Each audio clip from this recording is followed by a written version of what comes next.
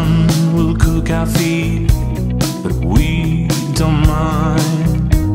We stand to recover from the cool shade on the grass.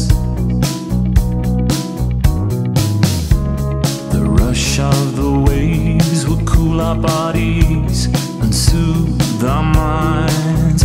For the sun